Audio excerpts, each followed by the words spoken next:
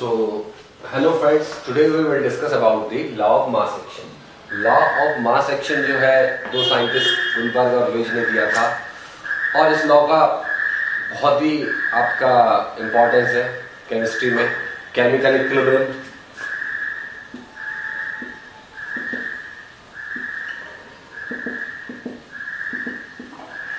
Chemical kinetics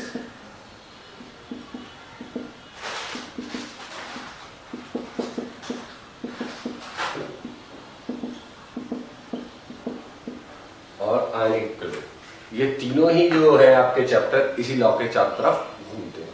और law of chemical equilibrium इसी का ही एप्लीकेशन है।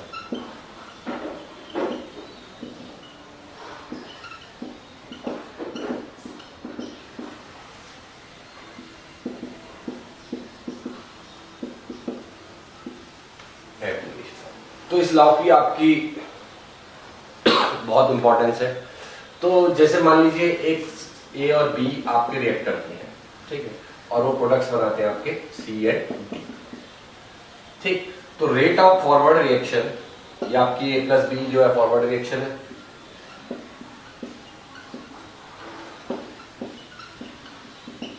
Is proportional to A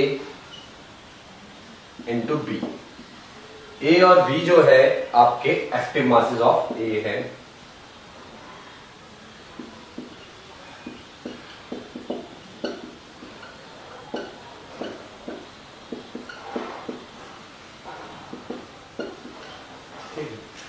और रेट ऑफ़ रिएक्शन को हम आर एफ़ से डिनोट कर देते हैं कि आपका इसका कितना अमाउंट जो है वो डिके हो रहा है।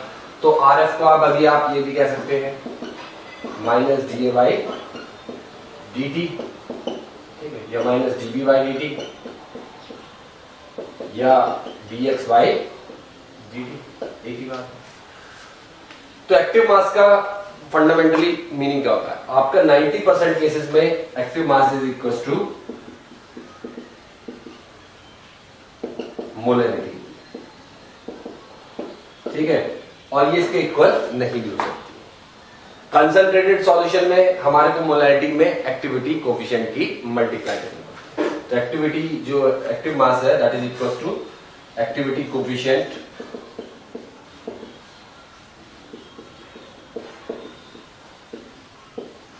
into molarity भी ले सकते हैं वो इन कंसंट्रेटेड सॉल्यूशन तो आपका एक्टिव मास पार्शियल प्रेशर भी हो सकता है।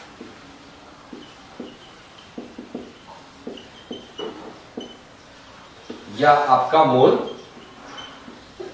फ्रैक्शन भी हो सकता है। तो ये सारी टर्म्स जो है हम लोग इसमें यूज़ करते हैं। अभी हमने ए और बी के स्टोचियोमेट्रिक कोफिशिएंट वन ली। यदि आपके ए और बी के कोफिशिएंट मान लीजिए ये अलग अलग होते हैं टू थ्री फोर फाइव वो भी कुछ हो सकते हैं। तो ये आपका ए बी होते तो यहाँ पर आप ए लगा देते यहाँ पर आप बी लगा देते तो ये आपके जो है कोफिशिएंट्स आपके आ जाते हैं तो लॉ ऑफ़ मास एक्शन यही होता है स्टेटमेंट वाइज की rate of a reaction forward reaction is proportional to the product of active masses of reactants and each term raised to the power its stoichiometric coefficient. तो A और B आपके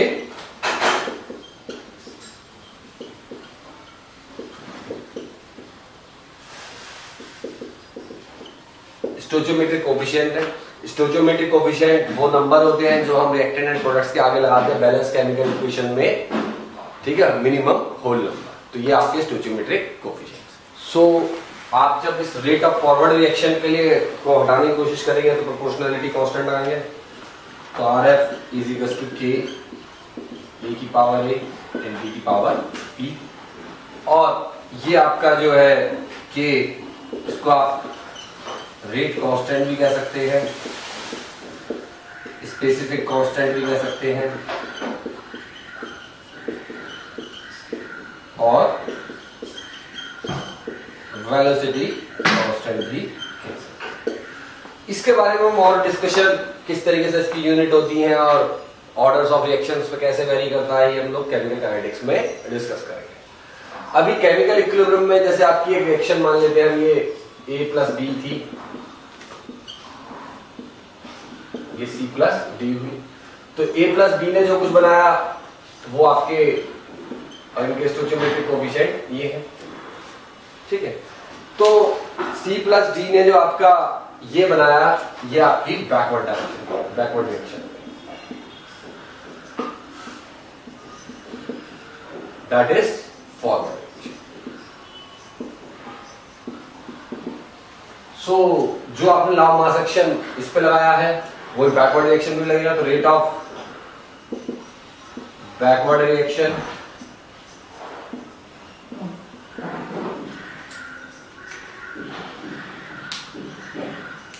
ठीक है, इसमें आप इसको आर बी कह सकते हैं इज़ प्रोपोर्शनल टू सी की पावर सी एंड डी की पावर डी तो इसमें आपने एक कांस्टेंट लगा दिया R B is equal to K B C की पावर सी एंड डी की पावर डी और एट इक्विलिब्रियम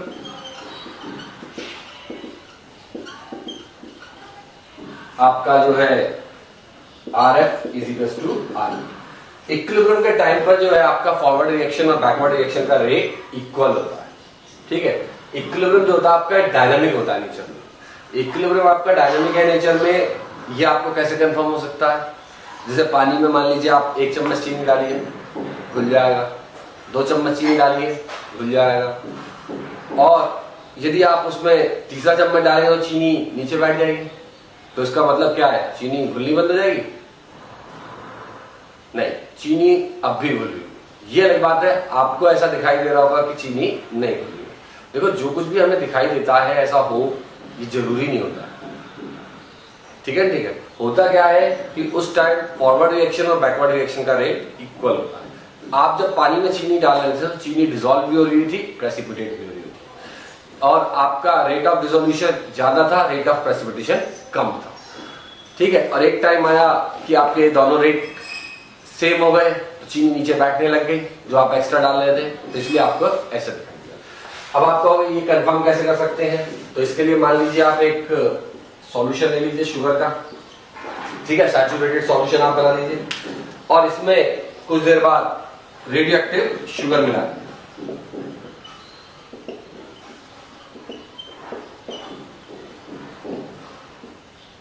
तो जब आपने इसमें रेडियो एक्टिव शुगर मिला दी तो कुछ देर बाद आपकी चीनी घुलनी आपके हिसाब से बंद हो गई है।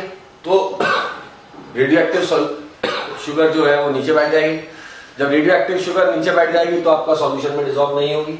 लेकिन ऐसा नहीं होगा। पता चलता है कि कुछ देर में सारे सॉल्यूशन में ही रेडियो एक्टिव शुगर फैल गई ठीक है? जो आप कार्बन का 14 आइसोटॉप ले लेते हैं। तो इसका मतलब क्या है कि आपका जो है इक्विलिब्रियम डायनामिक है। लगातार आपका चल रहा है। ठीक है तो इसमें जो है, बस ये होता है कि इक्विलिब्रियम के टाइम पे forward reaction is equal to backward reaction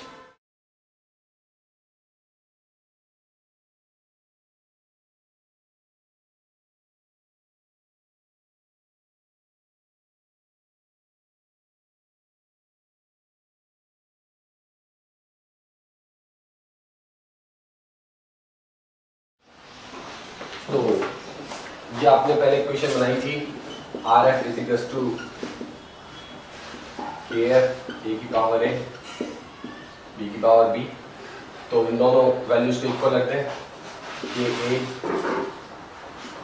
power A B B is equal to K B C की पावर सी डी की पावर डी तो जो है, इसको इधर ले जाते हैं, इसको इधर ले जाते हैं तो K F over K B is equal to C की पावर सी डी की पावर डी ओवर ए की पावर ए डी की पावर तो ये आपका कांस्टेंट है। ये भी आपका एक कांस्टेंट है। तो कांस्टेंट अपॉन कांस्टेंट है एक नया कांस्टेंट कर देते हैं केसी तो केसी का ये फार्मूला आपका तैयार हो गया। तो केसी को हम बोलते हैं इक्विलिब्रियम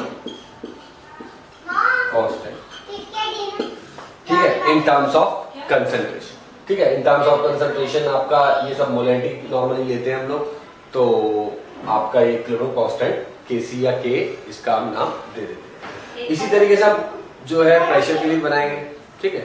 तो फिर आगे डिस्कस करते हैं उस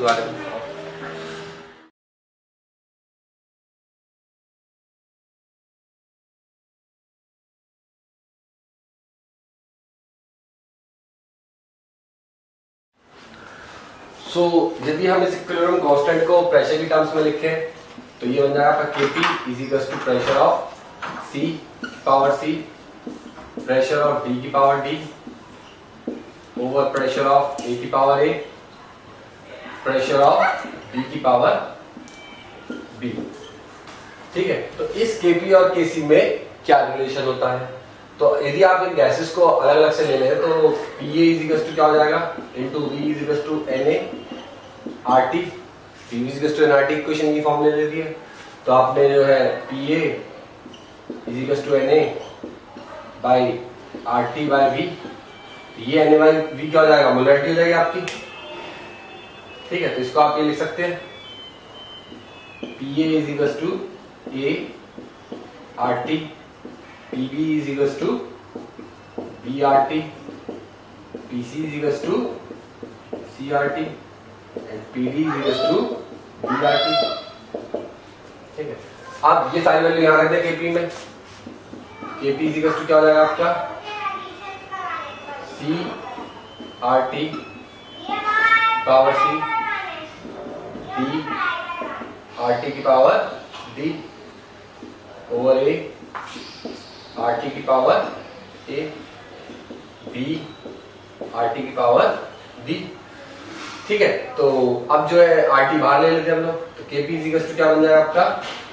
सी पावर सी बी की पावर डी ओवर ए की पावर ए बी की पावर बी आर टी की power C plus D minus A plus D power ठीक तो ये क्या बन गया आपका? के सी तो आपका रिलेशन क्या बन जाता है? K P is equal to K C R T की power delta delta N is equal to C plus D minus A plus ठीक है डेल्टा एन का मतलब ये जाता है sum of number of moles of stoichiometric coefficient of आपका products minus sum of stoichiometric coefficients of reactants.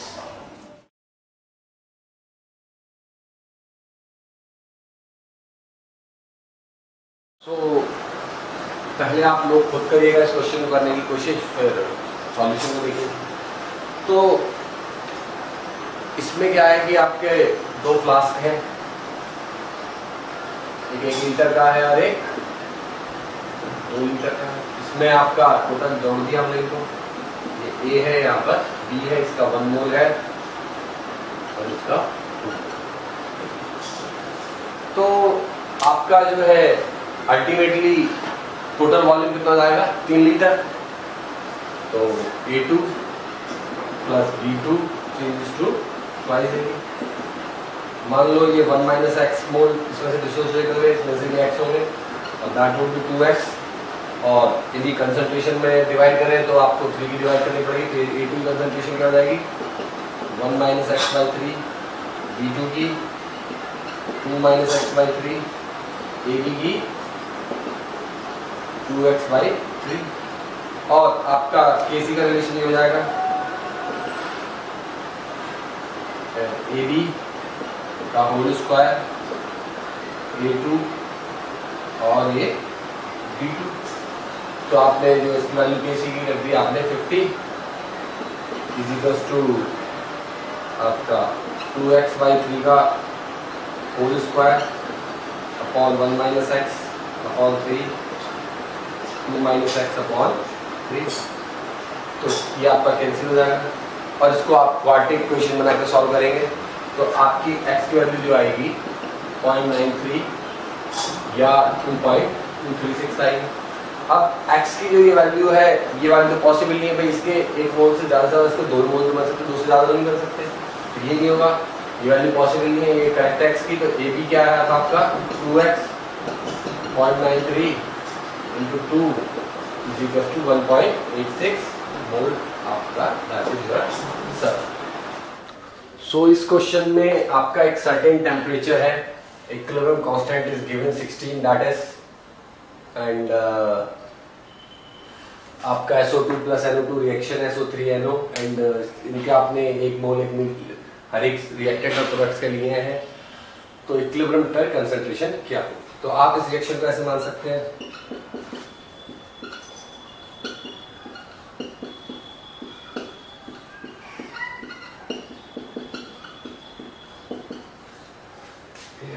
तो इसमें जो है, t बराबर ज़ीरो पर, इसका वन मोल है, इसका वन है, इसका वन है, इसका वन इक्विलिब्रियम कांस्टेंट की वैल्यू 16 है, यानी इक्विलिब्रियम इस तरफ़ शिफ्ट होगा, ठीक है? तो इसी कंसंट्रेशन आपकी 1 माइनस एक्स हो जाएगी, इसकी 1 minus X this is 1 plus X this is 1 plus X तो आपका एक्सप्रेशन बन जाएगा, Kc is equals to SO3 की कंसंट्रेशन NO की कंसंट्रेशन गैस की और देन SO2 और देन आपका n.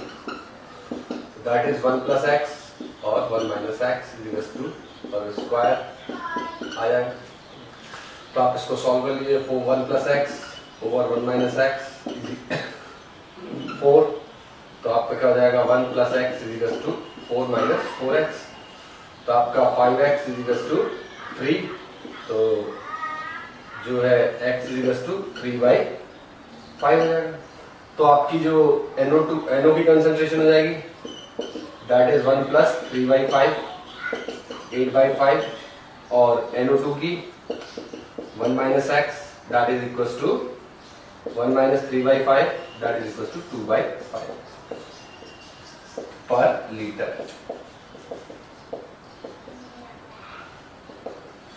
liter. Equilibrium पे कंसंट्रेशन होती है सो इस क्वेश्चन में one mole of nitrogen is mixed with three moles of hydrogen four litre flask में है। और आपकी point zero point two five percent जो आपकी नाइट्रोजन अमोनिया में कन्वर्ट हो रही है। तो ये रिएक्शन है आपकी।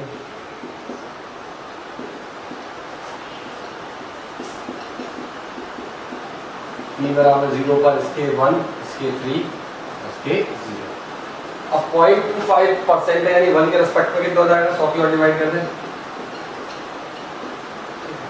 और थ्री के रेस्पेक्ट में ये आपका three minus three three into होता थ्री भाग लेंगे one minus point zero zero two five This is 2x. That is 2 into 0.025 ठीक है? और Kc क्या होता है आपका? NH3 की कंसंट्रेशन का स्क्वायर में बहुत सारी हैं। H2 होल क्यूब सो ये पुट कर देते हैं।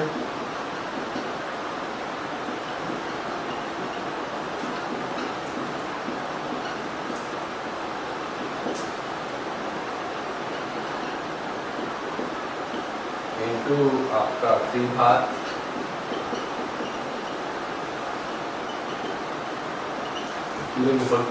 तो इसको आप कैलकुलेट करेंगे तो that would be value equal to four point one eight into ten is power minus four five metre square more minus two is your answer